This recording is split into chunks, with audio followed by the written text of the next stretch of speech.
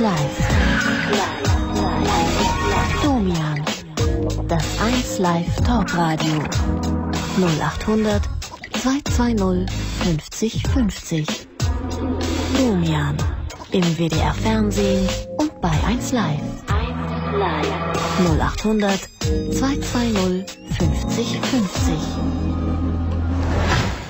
Ja, ihr Lieben, schön, dass ihr da seid. Willkommen bei Domian, willkommen zu einer neuen Talkwoche. Wir haben heute Montag. Montag heißt Freithemennacht. Wenn ihr gerne mit mir sprechen wollt, dann könnt ihr das auch gerne tun. Ihr müsst nur diese Nummer hier wählen, 0800 220 50 50. Und dann unterhalten wir uns über das Thema, über das ihr euch gerne mit mir unterhalten wollt. Gunnar hat angerufen. Gunnar ist der Erste heute Nacht und Gunnar ist 26 Jahre alt. Hallo. Hallo Domian. Ja. Hallo Gunnar, um was geht's? Bei mir ist folgendes. Alle meine Freundinnen und auch meine Freunde sagt, seitdem ich auf dem Friedhof arbeite, also ich buddel da die Leichen ein, wäre ich total abgestumpft. Mhm. Wie lange arbeitest du denn schon da? Äh, jetzt sind es drei Jahre. Drei Jahre. Mhm. Das heißt, du bist äh, ein, ein, ein klassischer Totengräber. Ja. Das heißt, du, du, du äh, hebst die Gräber aus, Ja. du bettest aber auch. Ja, erzähl du mal, was du alles machst. Also ich äh, heb das Grab aus, Mhm. lass den Sarg runter und buddel das Grab wieder zu. Ja. Äh, musst du auch Umbettungen machen? Müssen wir auch machen. Das stelle ich mir sehr schwierig vor. Ist es so? Es ist alles ein bisschen schwierig. Ich, wo ich angefangen habe, ich habe auch nie damit gerechnet, dass da in den Gräbern noch alte Knochen zu finden sind oder Schädel oder sowas. Achso, in, den, in denen die neu ausgegraben werden. Ja, genau. Weil das Gräber sind, die schon vor Jahrzehnten oder noch länger, vor noch längerer Zeit mal benutzt worden sind. Ja, genau. Gunnar, mach mal bitte den Radio, den Fernseher, das Radio ganz leise. Das habe ich alles auf. Ja, ich höre nämlich mein, mein Echo im Hintergrund. Na egal. Ähm, weil das, also weil diese Knochen dann noch nicht verwest sind, findet man oder ver verkommen sind, findet man die beim Ausgraben. Ja. Was macht man damit? Äh, ich weiß nicht, ob ich das erzählen darf. Warum nicht? Also das wird, der Sand wird ja aufgehäuft, weil das hier ja wieder in, äh, ins Grab reinkommt. Ja. Und da werden die Knochen wieder, die alten, mit reingetan. Ach, die kommen dann auf, quasi auf den, den neuen Sarg drauf. Ja. Das, ist, das wissen natürlich nicht die Angehörigen äh, dessen, der, der gerade bestattet wurde. Nein. Mhm. Weil das wird ja alles abgedeckt und so, da sieht man ja auch nichts von. Ja. Was ist für dich das Schwierigste an dieser Arbeit? Das Schwierigste der Umbettung und auch wenn man mal so, so manchmal hat man da, da findet man fast alles bis auf Finger und die, äh, wieder da, also an Knochen. Habe Mhm. ich auch schon gehabt. Du machst es drei Jahre, arbeitest seit drei Jahren auf dem Friedhof. Äh, Ja. Was war das, das Widerlichste, wenn man das so sagen kann, oder das für dich äh, schauderhafteste oder vielleicht auch ekelhafteste, was du bisher erlebt hast? Das ekelhafteste war, wir mussten ein Grab ausheben Mhm. und von nebenan war der Sarg verrutscht. Mhm. So, Also im, im, im, Ne- im Nebengrab war der Sarg verrutscht. Ja, der durch die, durch die Feuchtigkeit und die Nässe ist der halb zum anderen Grab. Dann Ach so. wurde das abgehauen und der ganze Saft lief da dann raus. Mhm. Weil der da gerade mal fünf Jahre lag oder so. Mhm. Und der Geruch alleine, das war das Widerlichste. Wie ist das, wenn, wenn ihr eine Umbettung macht? Das heißt, wenn ein, ein, ein, ein Grab geöffnet wird, um den Leichnam und den Sarg eventuell, falls er noch vorhanden ist, äh, an einer anderen Stelle äh, zu bestatten. Ähm, äh, siehst, hast du dann direkt auch Kontakt, äh, körperlichen Kontakt mit den Händen, mit, mit der Leiche? Ja, ne? Nein, das dürfen wir gar nicht machen. Wie geht das dann? Wie macht man das? Ja, wir buddeln bis auf 10 Zentimeter da ungefähr ran, weil man weiß ja ungefähr, wo der Sarg liegt. Mhm. Und dann kommt eine andere Firma, die das extra macht. Ach so, ach so. Ach so, das heißt also, dieser ganz schlimme, so wie ich es mir vorstellen würde, Ja. schlimme Kontakt entsteht da gar nicht. Den, den habt ihr gar nicht. Nein. Mhm. Jetzt hast du gerade am Anfang gesagt, deine, deine Freunde meinen, seitdem du äh, auf dem Friedhof arbeitest, seist du total abgestumpft. Ja, weil es gibt ein Beispiel, ein guter Freund von uns ist gestorben. Mhm. Und ich war irgendwie nicht traurig. Mein einziger Kommentar war irgendwie unbewusst. Ja, ich habe mir gerade sein Loch gebuddelt. Stimmte das? Ja, hatte ich auch. Hattest du wirklich? Mhm. Ja. Mhm. Obwohl ich es nicht wusste, weil bei uns auf dem Friedhof ist das, äh, wir wollen gar nicht wissen, für wen. Mhm. Für die Ja. Löcher machen. Äh, hast du eine Freundin? Ja, Wie geht die damit um, dass ihr Freund den ganzen Tag auf dem Friedhof arbeitet? also sie sagt, sie, kannte mich ja, wo ich es gemacht hatte. Ich hatte aber schon mal vor eine Freundin, die hat deswegen Schluss gemacht, weil sie konnte da nicht mit umgehen. Mhm. Die hat deshalb Schluss gemacht. Ja, Äh, weil sie sich diese Gedanken nicht machen wollte, was du den ganzen Tag tust, oder weil du vielleicht auch irgendwie Kleidung mit nach Hause bringst, die in einer gewissen Weise riecht oder so. ja, sie beides wohl. Mhm. Sie konnte da nicht mit umgehen, so du arbeitest auf dem Friedhof. Ja. Wenn das Friedhofsgärtner wäre, dann würde es ja noch gehen, aber Ja. Wie ist das bei dir?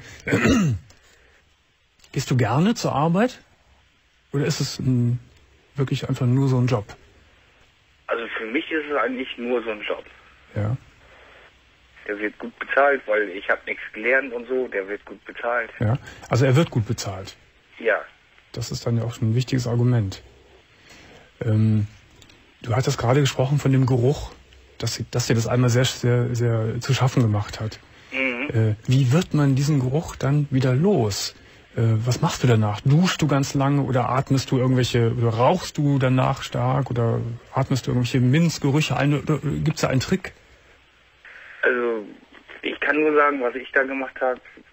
Das war Gott sei Dank ein Freitag. Ich habe mich das ganze Wochenende praktisch besoffen, so, weil ich habe Mhm. den Geruch wirklich nicht mehr aus der Nase bekommen. Ja, ja.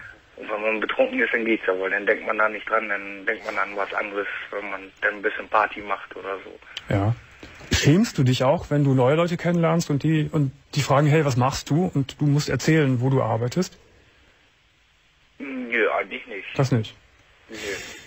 Nun sagen die Leute, wie du es vorhin erzählt hast, dass du abgestumpft bist. Findest du das denn selbst auch oder findest du, dass man dich da ungerecht beurteilt? Ich weiß es nicht. Also ich höre mir gerne die Meinung von meinen Freunden und so an und die sagen, ich habe mich mehr zurückgezogen. Früher war ich jedes Wochenende Party, Highlife oder so. Mhm. Da ist jetzt vielleicht noch alle zwei Monate mal oder so. Stimmt das? Gibt es da einen Zusammenhang? Hat das, hat das mit dem Job zu tun? Ich weiß nicht, vielleicht komme ich da bewusst gar nicht hinter oder so, weil ich sitze lieber zu Hause. Ja. Also du würdest du für dich sagen, äh, im Prinzip ist alles im grünen Bereich. Ich habe einen, Job, ich habe nichts gelernt, habe jetzt einen Job gefunden, bei dem ich gut Kohle verdiene. Äh, mir macht das so seelisch, psychisch keine, nicht, nicht sehr viel zu schaffen. Ist das so? Hm, Nee, ja, das Einzige, wo ich auch mal hintergekommen bin, dass mein Humor derber geworden ist. Also das ist das Mhm. Einzige, da gebe ich Ihnen auch recht. Ja. Aber das haben ja viele Leute, das, das haben auch äh, Ärzte, Chirurgen haben das. Ja, Äh, also du spürst so bei dir weniger den Leidensdruck, als denn, dass die Leute von außen das sagen, hier, da, der hat sich ein bisschen verändert. Ja, also das kommt mir von außen. Also ich selber finde eigentlich nicht. Kann ja auch sein, Gunnar, dass das eine Reaktion von außen ist, äh, die auch auf so einer gewissen Unsicherheit beruht, dass die Leute damit nicht recht umgehen können, was du da machst. Und dich dann unter die Lupe legen und vielleicht die kleinste Kleinigkeit äh, dann in dieser Weise auslegen und interpretieren. Wenn du nicht mehr so oft in die Disco gehst, dann sehen, dann sagen die gleich, das liegt bestimmt an dessen seelischen Problemen, weil er am Friedhof arbeitet. Du sagst, ich habe keinen Bock im Moment auszugehen, ich bin lieber zu Hause bei meiner Freundin. Ja, nee, das ist, darüber richte ich meine Freundin ja auf. Ich bin dann lieber zu Hause für mich alleine. Achso, ihr wohnt nicht zusammen. Nein, wir wohnen nicht zusammen. Ist es denn so, ich frage ich das nochmal, dass du dann, wenn du abends nach Hause kommst, schon ein bisschen grübelst und darüber nachdenkst, was du den Tag gemacht hast, welche Menschen da bestattet sind, was für ein Schicksal die hatten und so weiter? Nee, darüber grübel ich nicht, weil ich weiß ja auch nicht, was die für ein Schicksal haben. Hast du eigentlich selbst mehr Angst vor dem Tod, seitdem du das machst? Nein. Also da hat sich nichts verändert. Hast du mal so einen, so einen Gedanke, na, irgendwann, vielleicht ist es noch lange hin, aber irgendwann werde auch ich hier so liegen und jemand anderes buddelt an, an mir herum oder so? Ab und zu hat man den schon. So, so, so, was passiert denn, wenn... Aber ist für dich nicht beängstigend. Nö, weil ich bin mit dem Herzfehler groß geworden. Ja. Was ist das schönste Erfolgserlebnis in dem Beruf eines Totengräbers? Gibt es das überhaupt? Nee, Erfolgserlebnis würde ich nicht sagen. Also ich kann wohl sagen, was das Schlimmste für einen Totengräber ist. Nämlich? Und das ist immer, wenn irgendwelche Kinder oder Babys bestattet werden. Ja, ja. Ja. Also das ist immer absolut, dann, dann braucht mich auch abends keiner anzusprechen oder so. Mhm. Also geht einem das dann schon nach, ne? ja, weil, äh, klingt jetzt ein bisschen derbe, aber andere Leute sind 80, 90, die haben dann ihr Alter erreicht. So, so ein Zehnjähriger hat ja aber noch nichts vom Leben gehabt. Mhm. Also Gunnar, ich habe so den Eindruck von dir, dass, dass, dass du das schon relativ professionell siehst, habe ich den Eindruck, glaube ich. Aber man weiß ja nicht, was so in den Tiefen so in einem rumort. Wenn du möchtest, kannst du gerne noch ein paar Worte mit meiner Psychologin sprechen. Möchtest du das? Ja, kann ich gerne machen. Gut. Dann legst du jetzt auf und die Anna ruft dich gleich an. Ja, ich bedanke Okay, alles Gute. mich. Ja, danke. Tschüss. Tschüss. Ihr Lieben 0800 220 50 50. Das hier ist eine Telefontalkshow live ausgestrahlt aus Köln vom WDR und von 1 Live. Und wenn ihr gerne mit mir reden wollt, egal über welches Thema, dann ruft an, Telefonnummer 0800 220 50 50 oder mailt unter domian.wdr.de oder faxt unter 0800 220 50 51. Nächste Anruferin ist Bianca. Bianca ist 22 Jahre alt. Schönen guten Morgen. Guten Morgen, hallo. Hallo Bianca. Deswegen rufst du an. Was ist dein Thema? Ja, ähm, mein Problem ist, ich habe einen Freund, mit dem bin ich bereits seit über zwei Jahren zusammen. Und ähm, seine Mutter weiß nicht, dass es mich gibt. Aha. Wie alt ist der Freund? 30. 30. Ja, Und die Mama von dem Freund weiß nicht, dass es dich gibt. Genau. Warum? Ja, er hat halt wahrscheinlich einfach Angst davor. Also ich bin seine erste Freundin Ja. und ähm, ja, er weiß nicht, wie er mit der Situation umgehen soll. Aber wenn man seit zwei Jahren zusammen ist, dann, dann ist ja nun schon viel passiert, man macht viel miteinander. Äh, das heißt, alles läuft geheim. Du gehst nie mal. Wohnt, wohnt er noch bei, bei, seiner, bei seiner Mutter? Ja, teilweise. Was heißt teilweise? Ja, unter der Woche ist er woanders und Ja. am Wochenende ist er ab und zu bei seiner Mutter. Das heißt, am Wochenende kannst du ihn dann doch nie besuchen, wo er gerade wohnt, nämlich bei der Mutter. Genau. Äh, nervt dich das nicht? Doch schon, also ähm, vor allem am Anfang hat mich das sehr genervt, weil ich da einfach überhaupt nicht damit umgehen konnte. Ich konnte es einfach nicht verstehen. Ich war dann oft auch ziemlich hysterisch und eifersüchtig, wenn er immer gefahren ist. Ja. Und mit der Zeit, als ich ihn eben näher kennengelernt habe und auch verstehen gelernt habe, wieso das so ist, ähm, ist nicht mehr so schlimm. Ja. F- Versuch es mir und uns auch noch verständlicher zu machen. Äh, du hast gra- gerade schon angedeutet oder umrissen. Was ist, sind die Einzelheiten? Warum kriegt er es nicht fertig und sagt zu seiner Mutter hier, das ist Bianca, meine Freundin, seit zwei Jahren zusammen, wir lieben uns. Ich möchte sie dir vorstellen. Warum nicht? Ja, ich, ich glaube einfach, weil, wie gesagt, es- ich bin seine erste Freundin und ich glaube, er hat einfach Angst davor, wie seine Mutter reagiert. Aber was ist das für eine Angst? Ja, dass sie, sie ihn vielleicht verstoßen könnte oder Eifersüchtig ist? ja oder eifersüchtig ist Mhm. oder dass, ähm, äh, dass auch ähm, er Angst davor hat äh, vor ihrer Reaktion, wenn sie mich Was, sieht. was, was könnte sie denn machen? Was, was wäre das für eine Reaktion? Ja, dass sie vielleicht sagt, dass äh, ist total hässlich oder was weiß ich, die passt zu dir. Mhm. Und ja, Er geht bei dir, bei deinen Eltern ein und aus. ja, Ja, da ist er akzeptiert und alles ist wunderbar. ja. Ja. Ähm, ist er das einzige Kind äh, seiner Mutter? Nein, er hat noch einen Bruder. Älter oder jünger? Älter. Älter. Und ist das da auch so seltsam, dass die Mama da so große Macht hat? Nee, der komischerweise gar nicht. Der hat eine Freundin oder eine Frau? ja, und der hat eine Freundin und da ist alles in Ordnung. ja. Und gibt es auch noch einen Vater? Nein, gibt es nicht. Den gibt es nicht. Nee. Äh, mich würde das, Bianca, wenn ich an deiner Stelle wäre. Du hast ja gerade schon gesagt, dass es dich auch am Anfang genervt hat oder so. Äh, mich würde es sehr kränken. Mich würde es äußerst kränken und ich äh, glaube, ich wäre sehr sauer. Bin ich auch oft. Sehr sauer wäre ich. Was ist das denn für ein Hampelmann? Entschuldige. Was ist das für ein Hampelmann? Das ist ein 30-jähriger Mann. Ein 30-jähriger Mann. Was macht er vom Beruf? Ähm, er ist, ähm, er arbeitet im Büro. Ja, okay. Ähm, ein 30-jähriger Mann, ein erwachsener Mann, hatte Angst, der Mama die Frau vorzustellen, die er liebt. Du bist ja nicht irgendwie eine Affäre, irgendeine Bettaffäre, sondern du bist seit zwei Jahren mit ihm zusammen. Ich gehe mal davon aus, dass, dass ihr euch sehr lieb habt und dass er, Ja. auch, dass er auch sagt, dass er dich sehr lieb hat. Ja. So. Und dann hat er Angst, äh, zu seiner Mutter zu gehen und zu sagen, hier, das ist meine Frau. Nicht, ich, ich glaube einfach, ähm, er hat, ich glaube einfach, dass er auch psychische Probleme hat. Also ich weiß, dass er das nicht, nicht böswillig macht. Er leidet ja auch sehr darunter. Mhm. Und ich habe ihn jetzt auch dazu gebracht, dass er auch ähm, psychologische Hilfe annimmt Aha. und ist jetzt seit äh, paar Monaten bei einem Therapeuten. Ah ja. Und ich hoffe, dass, ähm, dass das schon was hilft irgendwann. Was hat er denn für ein seltsam kurioses Verhältnis zu der Mutter? Bist du da mal hintergestiegen?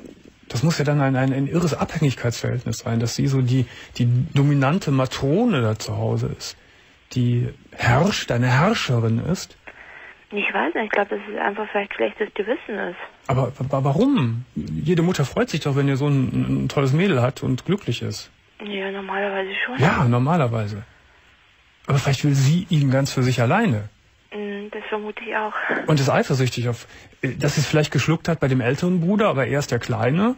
Und, Und den will sie vielleicht halten. Genau, den will sie halten und da darf keine Frau reinfunken und jede Frau, die da kommt, die wird mies gemacht und so weiter. Mm.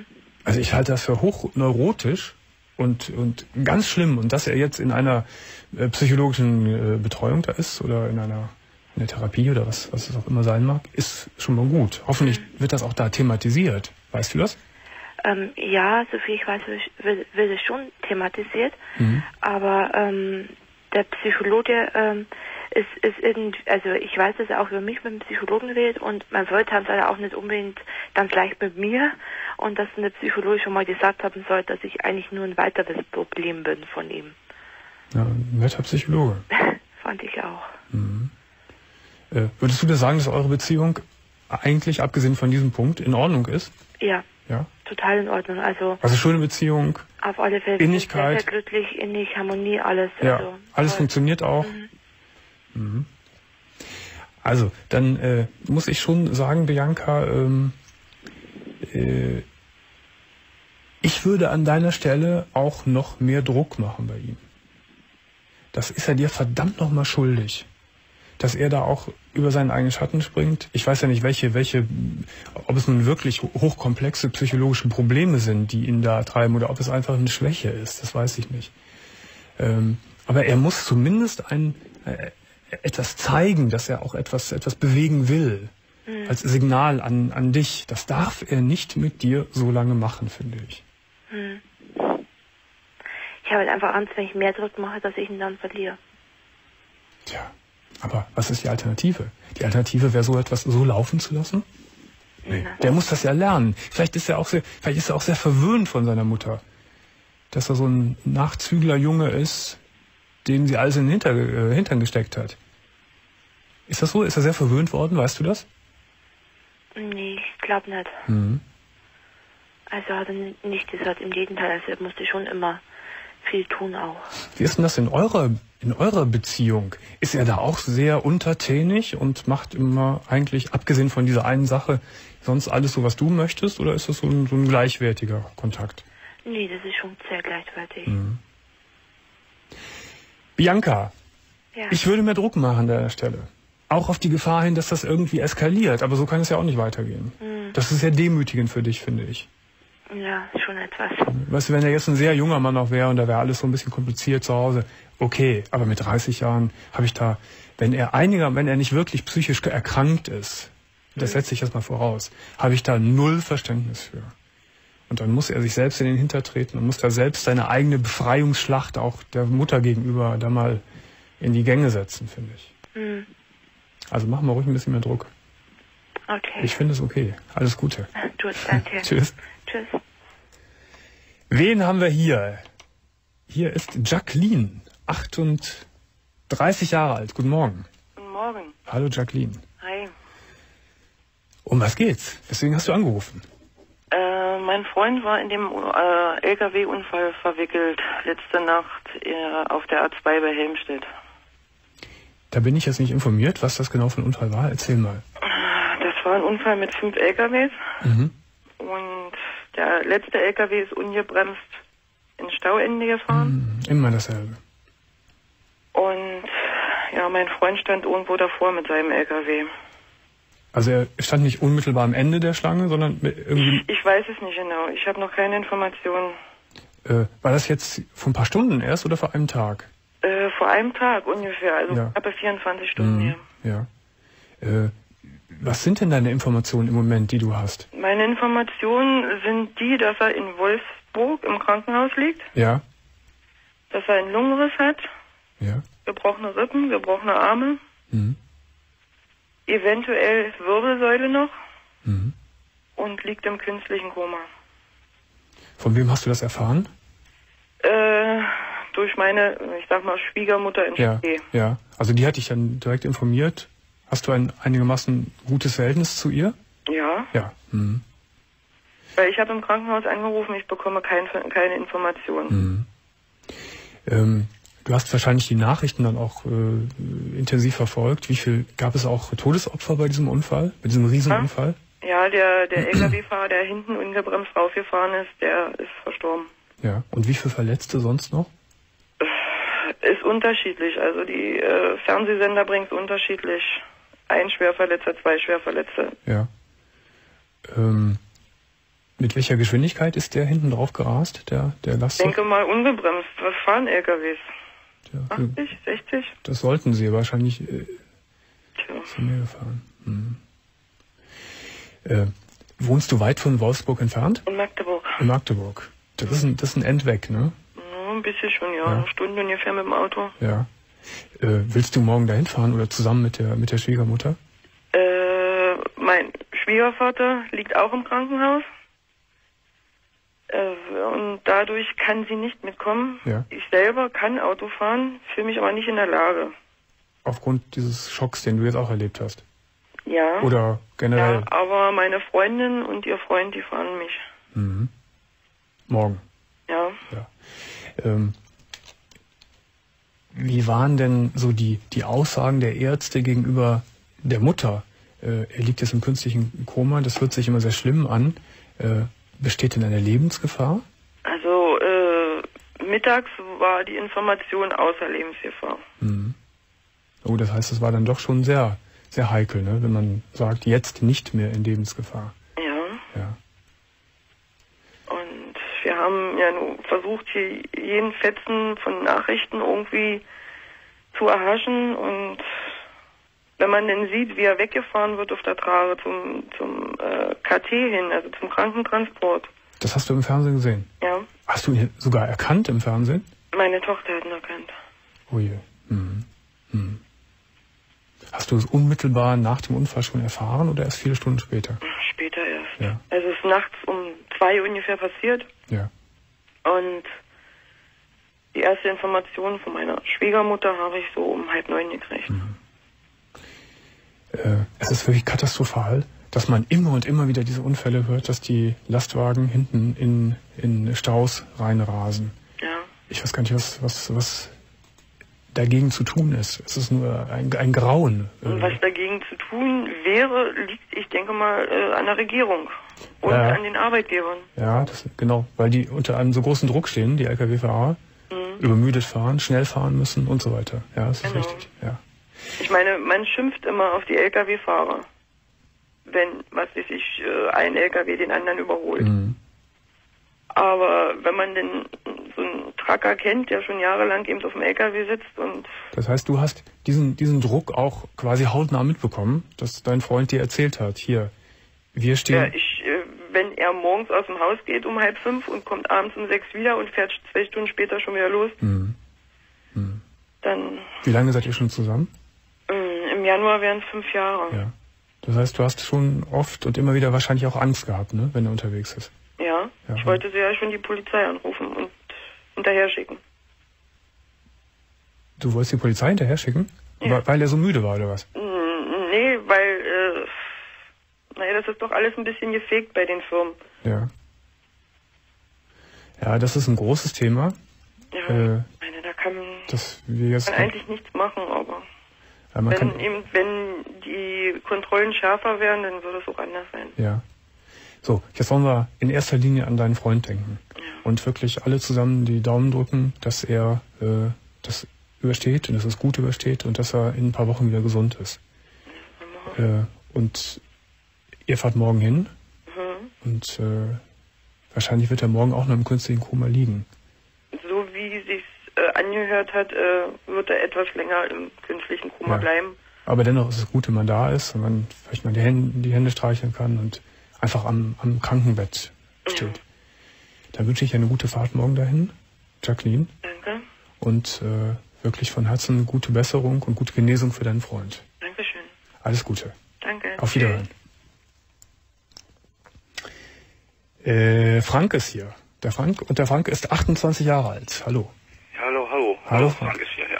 Also zuerst mal äh, alles Gute der und gute Besserung ihrem äh, verlobten Freund. Das hört sich ja richtig krass an, was da passiert ist. Ja. Ja, und Frank. meine Sache ist, ähm, ich muss morgen gegen meinen ehemaligen Drogendealer aussagen. Gegen deinen ehemaligen Drogendealer. Ja, Das heißt, du hast eine ganze Weile auch mit Drogen zu tun gehabt. ja. Ja. Mit richtig. welch, welchen Drogen? Partydrogen, Ecstasy, Amphetamine. Ko Also Kokain Speed, auch? Speed. Ja, Kokain nicht so wirklich. Ja. Das war nie so mein Ding, das war mir zu übel. Das heißt, du hast die selbst nur für dich konsumiert oder warst du quasi auch so ein Zwischenhändler und hast die auch weiterverkauft dann? Ich habe die äh, überwiegend für mich selber konsumiert und habe mir halt, wenn ich äh, mal rausgegangen bin, abends oder so, vielleicht so ein bisschen meinen Abend finanziert damit, aber nie wirklich gedealt. Ja. Wie lange hattest du Kontakt zu diesem Dealer? Äh, anderthalb Jahre etwa, ein Jahr, ein, ein, ein Jahr, ein Jahr aktiv etwa. Ja. Und, und wie ist das jetzt aufgeflogen? Ja, das war eigentlich mehr oder minder ein sehr dummer, dummer Zufall. Wir haben eine Bekannte besuchen wollen. Ähm, und sie kam uns auf dem Weg zu ihr auf der Straße entgegen und äh, raunte uns so im Vorbeigehen zu, dass wir nicht zu ihr gehen sollen, weil sie der Meinung ist, dass sie observiert wird. Äh, er war allerdings ähm, so, ja, ich sag mal, er ist extrem arrogant geworden im Laufe der Zeit, also sehr von sich eingenommen und sowas und wie man halt so wird, wenn man sich, äh, wenn man selber sein bester Kunde ist. Und ja, ist halt doch mit rein und da sind wir dann erwischt worden und der hatte gerade bekommen erst und jede Menge Zeug auf Tasche. Was heißt erwischt? Ist da äh, ist die Wohnung gestürmt worden oder was? Ja, so in etwa. Ah ja. Und dann, wie geht das dann weiter? Die Wohnung wird gestürmt? Da kommen Leute vom SEK oder was waren das für Leute? Ja, nee, das waren äh, Beamten zivil, das war eigentlich ein ganz normaler Zufall, die waren hinter ganz anderen Leuten her. Äh, Ach so. Ein paar Autoknackern, die bei den Mädels vorher waren. Ja. Die waren nur da, äh, weil die kennen sich von der Schule und ähm, die haben einen gekriegt und dann waren die wieder weg. Und musstest du dann mit auf die auf die Ich äh, musste mit auf die Wache. du musstest mit auf die Wache. Ich Mhm. war auch in Polizeigewahrsam. Aber dann war relativ schnell klar, dass du nur Kunde bist und dass du deinen Privatgebrauch äh, ge- gekauft dort hast und konsumiert Ja, hast. so ganz easy ist das nicht. Ähm, der hat zu dem Zeitpunkt, wo wir da erwischt wurden, also hochgenommen wurden, hat der auch bei mir, ja, ich sag mal, residiert. Was hat der residiert? Ja, bei mir, ich habe den bei mir wohnen lassen, weil er keine Wohnung hatte. Der kam gerade quasi aus dem Gefängnis, Ach so.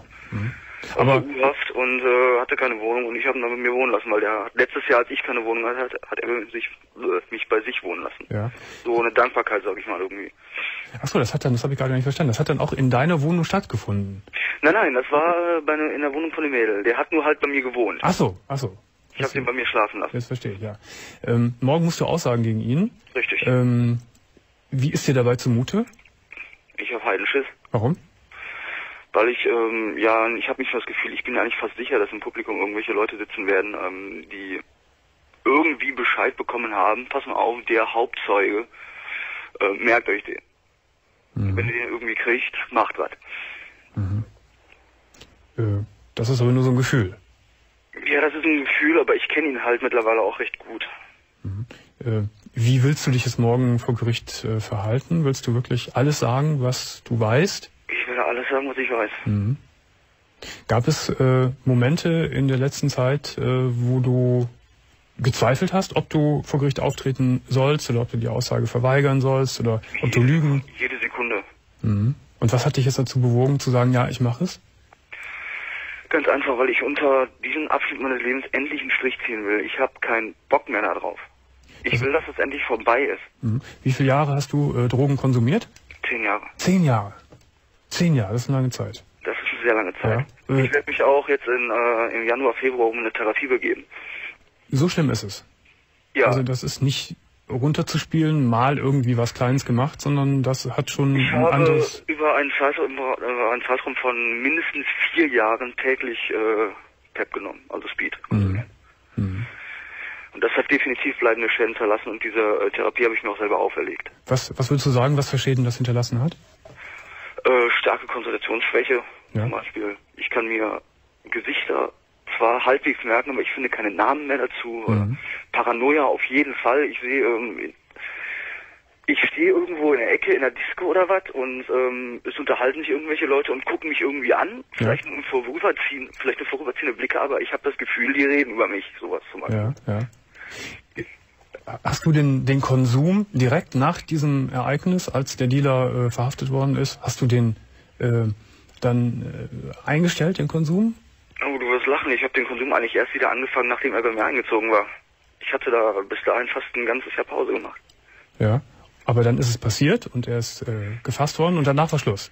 Danach war Schluss. Ich habe seitdem nichts mehr angefasst und, Und- ich habe auch nicht vor, nochmal was anzufassen. Ist dir das leicht gefallen? Nach zehn Jahren könnte ich mir vorstellen, dass, äh, dass es nicht so einfach geht, von heute auf morgen zu sagen, ich mache es jetzt nicht mehr, ich habe keinen Bock mehr. Oh ja, weißt du, wenn du ähm, lange, lange damit gemacht hast und ähm, nie was passiert ist und nach zehn Jahren auf einmal erwischt dich so ein Hammer Mhm. ähm, und du bist eigentlich sowieso gerade dabei gewesen, dein Leben wieder auf die Bahn zu kriegen, Mhm. dann ist das doch schon ein gewaltiger Schritt in den Hintern. So, ja. so jetzt reicht's. Ja klar, du warst ja schon in der, in der, in der Phase der, der Besserung, sage ich jetzt mal, und dann Ja. gab es diesen Rückschlag. Ja. Richtig. Ähm, was machst du vom Beruf?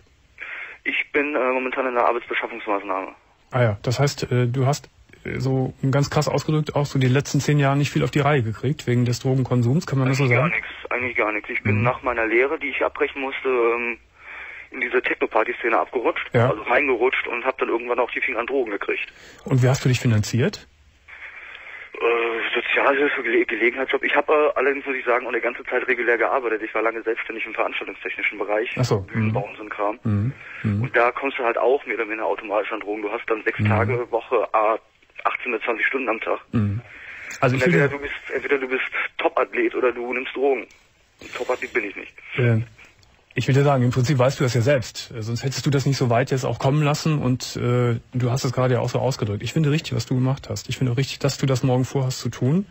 Und ich finde auch richtig, dass du dass du vollkommen auspacken wirst und absolut die Wahrheit sagen willst. Ich finde Ja. es gut. Äh, selbst auch das Risiko, dass es Komplikationen gibt, ähm, was nun nicht unbedingt sein muss. Äh, das, die Gefahr besteht natürlich, klar. Ja, Aber die Alternative, was ist die Alternative? Die Alternative ist, das Gericht zu belügen, äh, sich irgendwie rauszuwinden, in neue Komplikationen zu geraten, in neue Abhängigkeiten vielleicht. Richtig, und dann schon wieder in die Drogenszene abzurutschen. Nein, danke. Ja.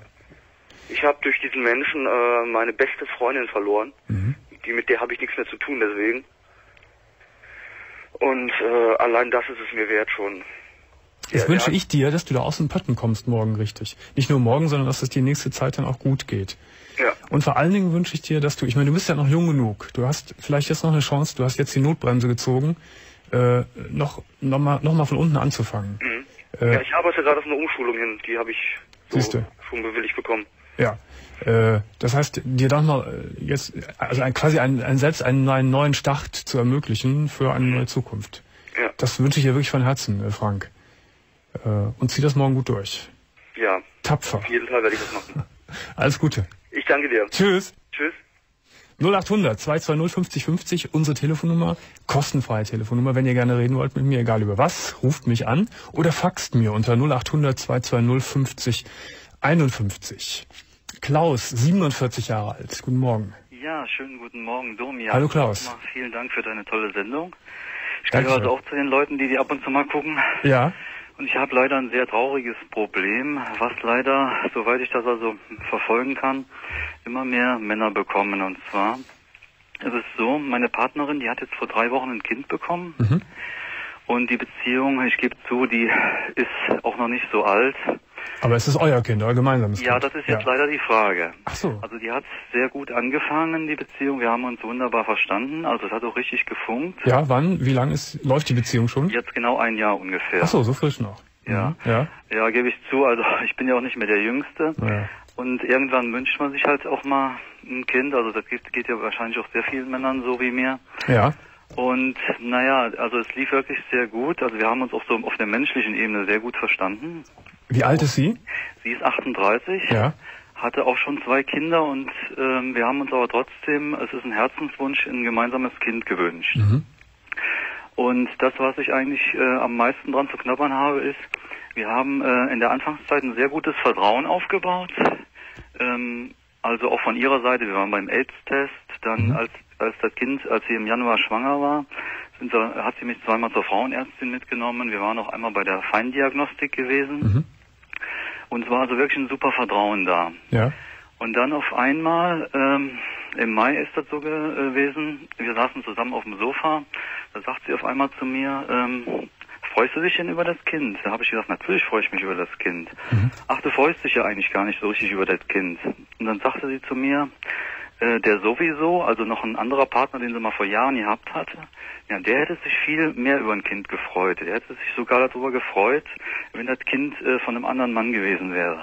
Ach, Und das ist natürlich jetzt, sagen wir mal so, aus männlicher Sicht, also zumindest aus meiner Sicht, finde ich ja eigentlich ein ganz schöner Hammer und das war auch der eigentliche Vertrauensbruch. Und ja. Warum hat sie das gesagt? Tja, das frage ich mich eigentlich auch. Wenige Tage vorher oder später hat sie mir dann auch noch die vorzeitige Vaterschaftsanerkennung vorgeschlagen. Also äh, das heißt also, be- bevor überhaupt das Kind geboren ist, dass ich die Vaterschaft anerkenne. Hast du das getan? Das fand ich natürlich auch schon merkwürdig. Ich fände ich auch merkwürdig, ja. Ja.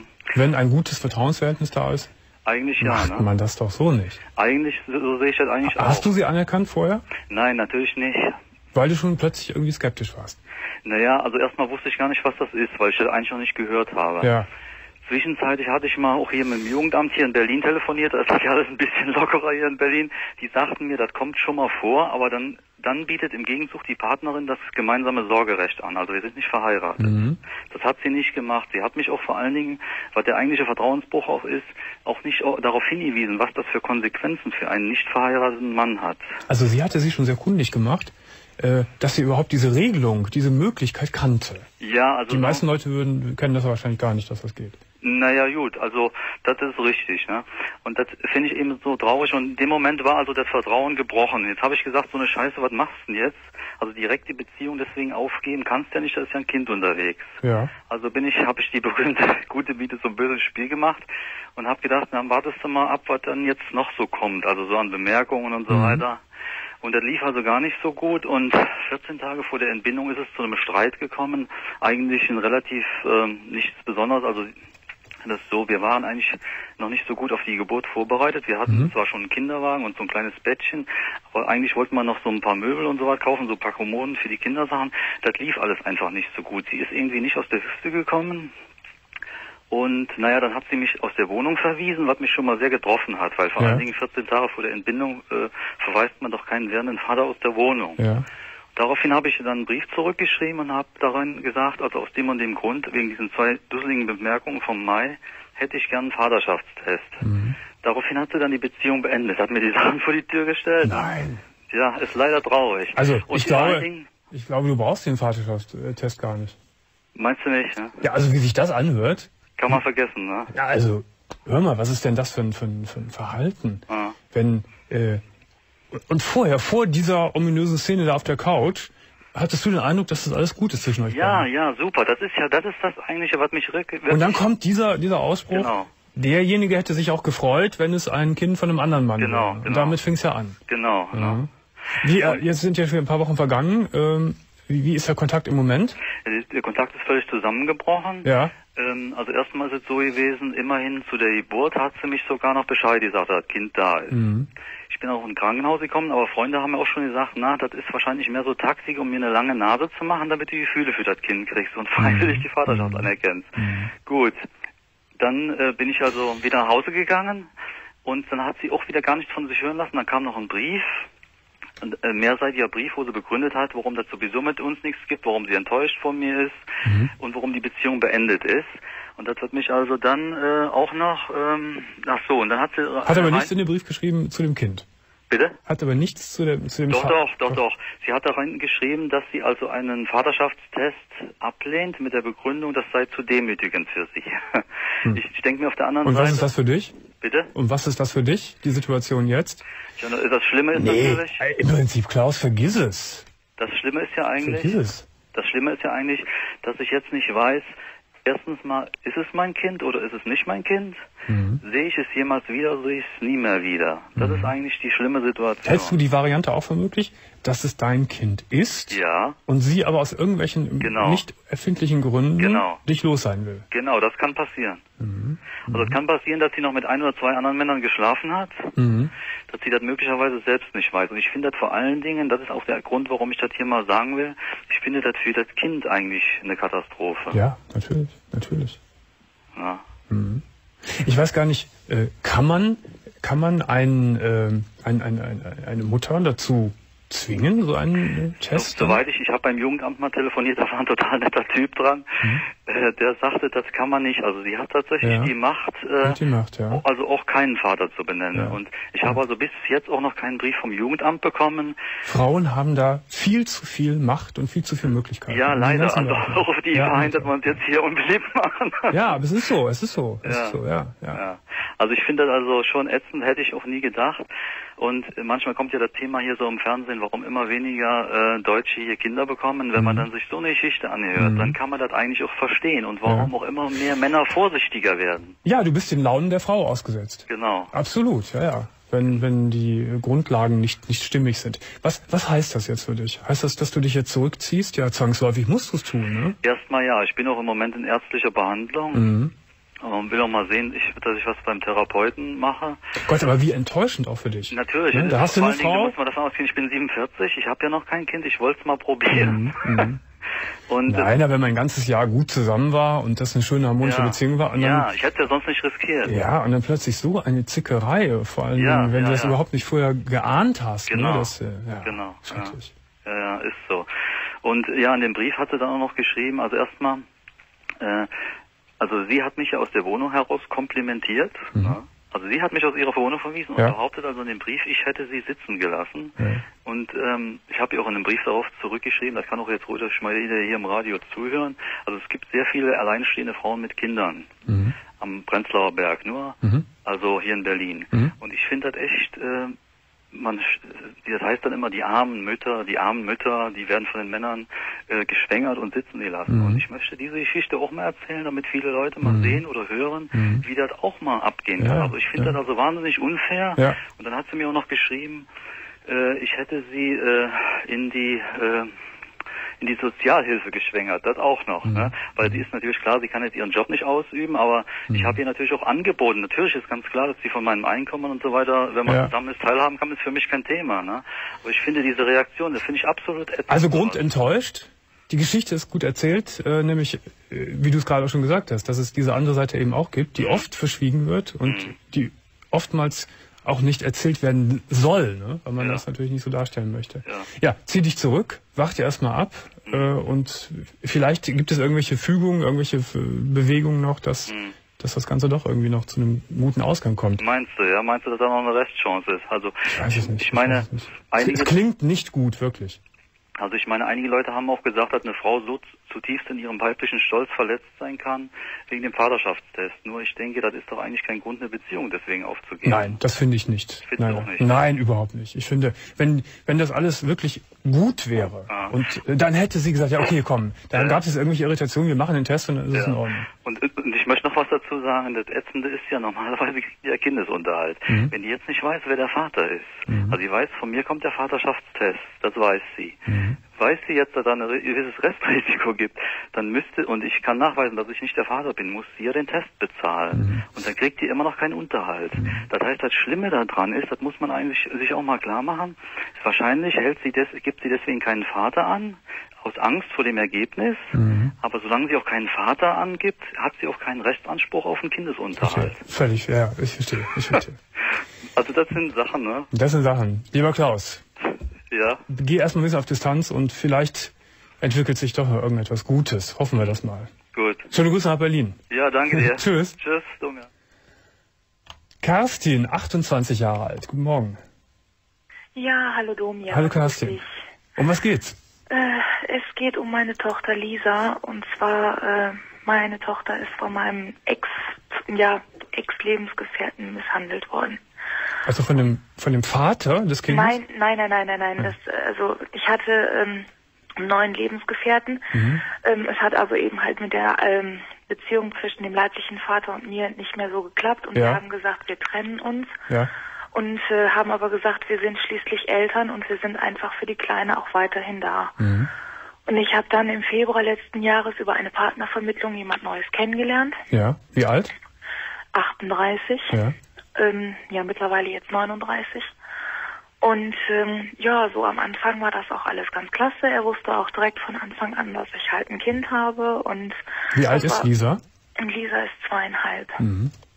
Und das war für ihn auch alles eigentlich überhaupt kein Thema. Und äh, ja, wir hatten dann, wie gesagt, auch recht guten Kontakt. Ähm, zwischendurch kamen dann doch mal Streitigkeiten, wo wir dann gesagt haben, nee, jetzt ist wohl besser, wenn wir uns jetzt erstmal nicht sehen. Und ich habe dann selber im Mai diesen Jahres den Kontakt wieder aufgenommen gehabt, wo wir auch nochmal über einiges gesprochen hatten. Und wir waren dann auch zwischendurch, waren wir dann auch mal bei ihm zu Hause gewesen, also mit der Kleinen zusammen, die hatte ich dann auch mitgenommen. Mhm.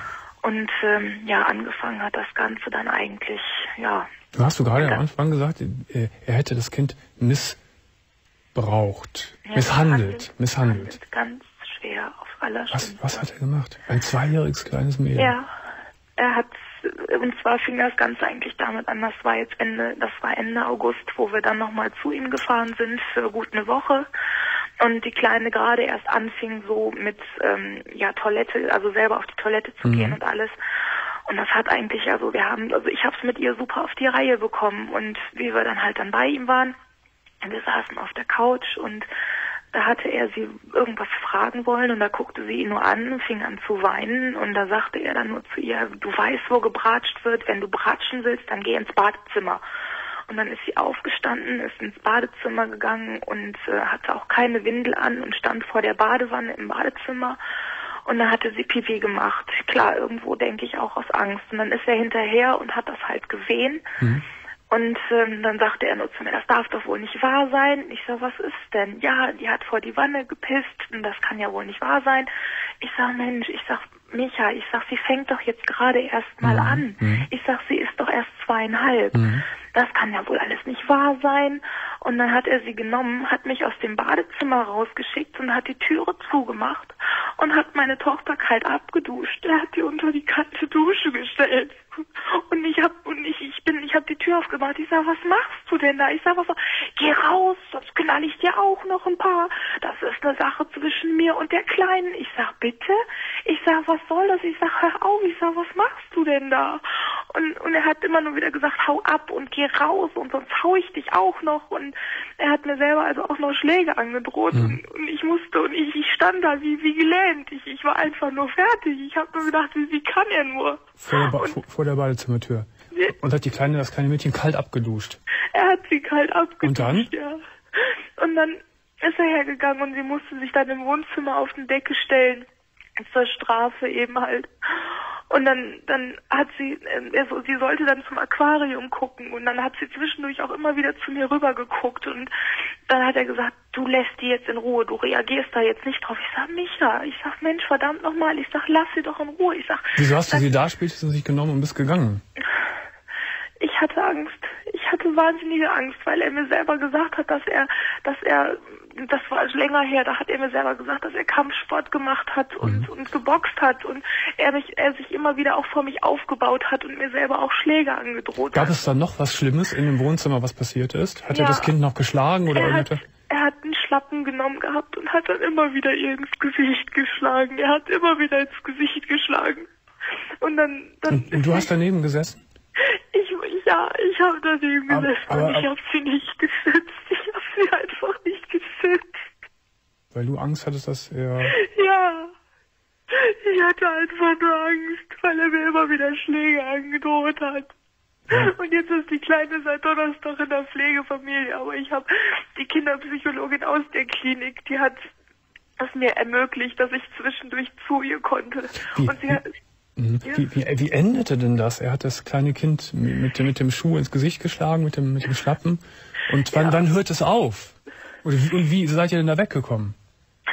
Es war so, dass sie freitags, freitags ist sie, sie hat den Donnerstag über, sie hat nur geschlafen, sie war nur müde, sie wollte nur schlafen. Und dann, dann ist sie freitags sie hat bis Freitagabend eigentlich, sie war zwischen. Nein, nein, nein, aus der Situation. Ich sehe euch immer noch da in, in dem Wohnzimmer sitzen. Der schlägt das Kind. Du gehst nicht dazwischen. Wann, wann seid ihr denn aus der, aus der Wohnung rausgekommen? Das war Freitagabend, da, und zwar ist das dadurch gekommen. Wie lange dauerte das denn noch, das ganze Martyrium?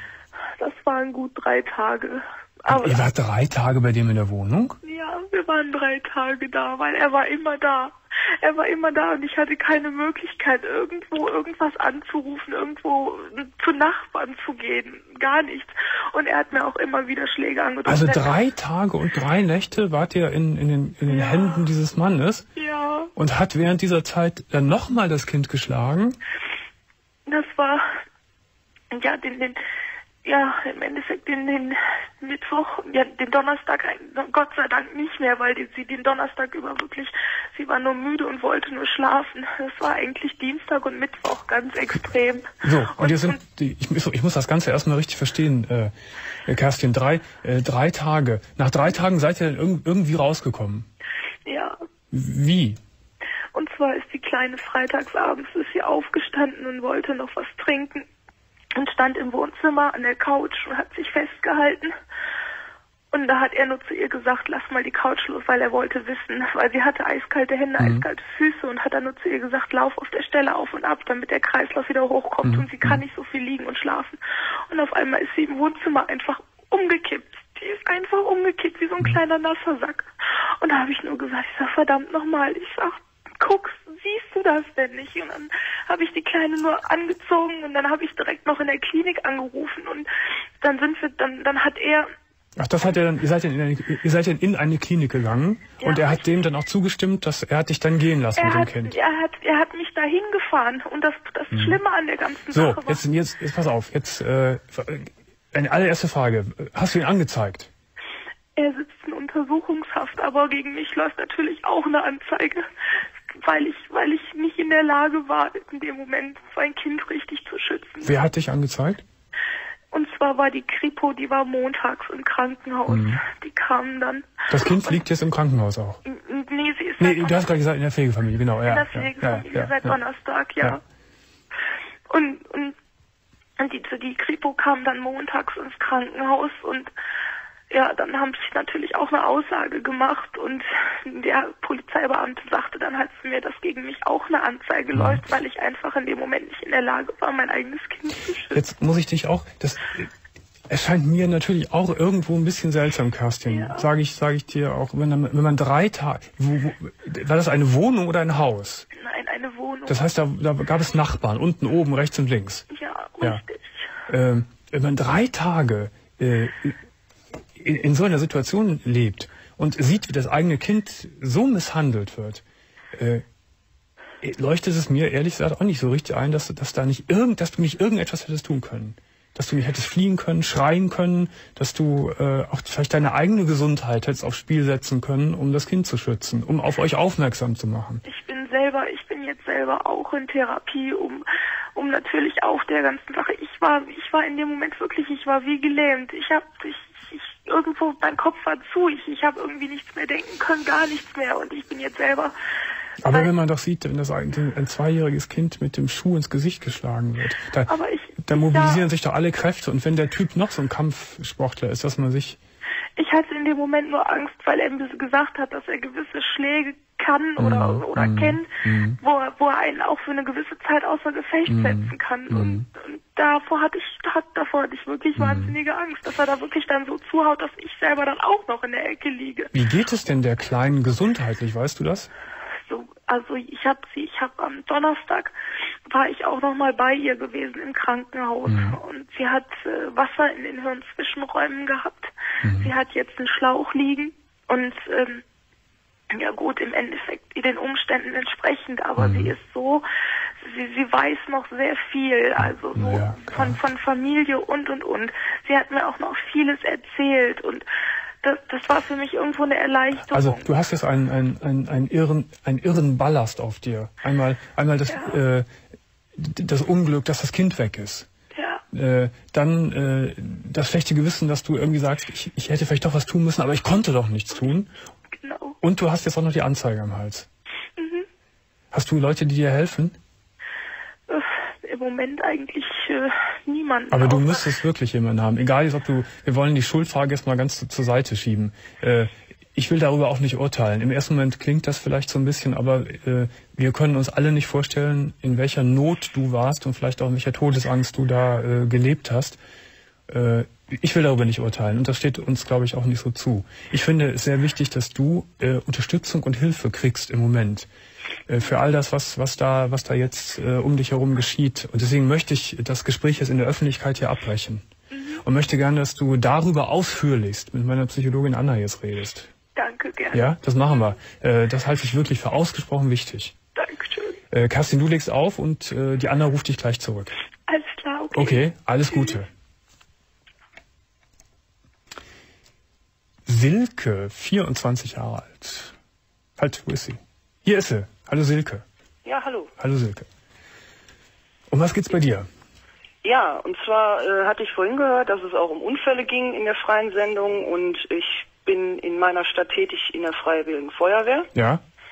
aber erst seit zweieinhalb Jahren. Mhm. Und vor vier Wochen war hier ähm, aus so ein, einer ja, Stadt kann man hier fast nicht sagen, auf einer kleinen Straße hier war ein schwerer Unfall, Mhm. war auch in den Medien.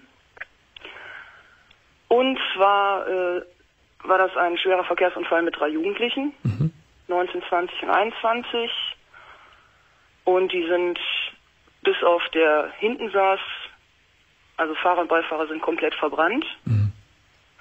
Und hinten der hat also noch aus dem brennenden Fahrzeug lebend gehangen, als sie ankamen. Und ähm, es wurde zwar vorher noch versucht, den rauszuziehen von den Ersthelfern vor Ort, die da, die Anwohner, die da gewohnt haben, Mhm. oder die ja jetzt auch noch wohnen. Und äh, ja, Und du warst mit, mit so einem schweren Unfall zum ersten Mal konfrontiert. genau. Ja, und du hast das dann wirklich ganz, ganz nah miterlebt und musstest selbst auch mit, mit zupacken und, und, und handeln. Ja, handeln nur indirekt, weil ich in zweiter Reihe stand, Mhm. weil wir waren zwar wenig Leute, aber die, die wirklich noch nicht so lange bei der Feuerwehr waren und wir waren viele, die nicht lange in der Feuerwehr waren bei dem Einsatz, die sollten eigentlich nur in der zweiten Reihe agieren. Ja. Aber man kriegt schon vieles mit. Dennoch hast du alles gesehen, ne? War denn eigentlich gleich klar, dass die, dass die beiden vorderen Insassen schon verstorben waren? Sah man das? War das so eindeutig? Ja, weil das waren nur noch die blanken Schädel Mhm. bei Fahrer und Beifahrer. Was sicherlich, wenn man das zum ersten Mal sieht, auch ein, ein ungeheuer schlimmer Eindruck ist, nicht wahr? Ja, aber ich hätte es mir, hört sich vielleicht blöd an, viel schlimmer vorgestellt. Mhm. Viel schlimmer fand ich halt, dass der hinten noch lebend raushing. Ja. Äh, weißt du was, äh, was aus dem, was aus dem Jungen geworden ist? Ja, der ist noch am selben Abend verstorben. Der ist auch noch verstorben. Mhm. War, Ja, war, war er bei Bewusstsein noch, als er raushing aus dem Auto brennend? Äh, wir spekulieren nicht. Mhm. Mhm. Also er hat wohl noch geschrien, aber das kann wohl auch äh, unter Ohnmacht gewesen sein. Was hat dieser Eindruck und dieser Einsatz jetzt mit dir gemacht? Kannst du das sagen, mit, deiner, mit deinem Empfinden, mit deiner Psyche? Ähm, dass ich, da die alle unter Alkoholeinfluss standen, für so Leute äh, kein Mitleid empfinde. Oh, so, so hart urteilst du. Ja, mir tun die Leute leid, die halt helfen mussten Mhm. und nicht helfen konnten, Mhm. ähm, weil die, die Leute müssten sich im Klaren darüber sein, wenn ich mit Alkohol fahre, Mhm. was passieren kann. Mhm. Äh, trotz der, der, der Schwere oder auch der Schwierigkeit dieses Einsatzes sagst du, ich mache das auf jeden Fall weiter, auch wenn ich vielleicht irgendwann mit noch äh, grauenhafteren Bildern konfrontiert werde. Ja, viel mehr Grauen, Grauenhafteres gibt's ja kaum. Mhm. Also es Mhm. gibt schon was, aber äh, das war schon mit das Schlimmste. Ich habe übrigens hohen Respekt vor Leuten wie dir, die ihr solche Arbeit leistet. Äh, und ich glaube, man muss schon äh, doch seelisch sehr stabil sein, um da nicht aus der Bahn geworfen zu werden, wenn man so etwas erlebt. Ja, das stellt sich ja noch raus. Also bis jetzt verpacke ich das eigentlich ganz gut. Es sind erst vier Wochen her, ne? Ja, genau. Ja. Jetzt ist leider die Sendung vorbei, Silke. Ja, äh, sehe ich schon. Aber du bist dennoch drangekommen, worüber ich mich freue und wünsche dir alles Gute und vor allen Dingen auch alles Gute und viel Kraft für diese Arbeit, die du da leistest. Ja, danke schön. Auf Wiederhören. Ja, danke. Tschüss. In der Technik heute Nacht Gundel Blendin. Wir sind morgen wieder da, 1 Uhr Radio 1 Live, 1 Uhr wieder Fernsehen und ab 0 Uhr könnt ihr auch morgen wie immer bei uns anrufen unter der bekannten Telefonnummer. Ich wünsche euch eine gute Nacht und eine schöne Nacht. Tschüss.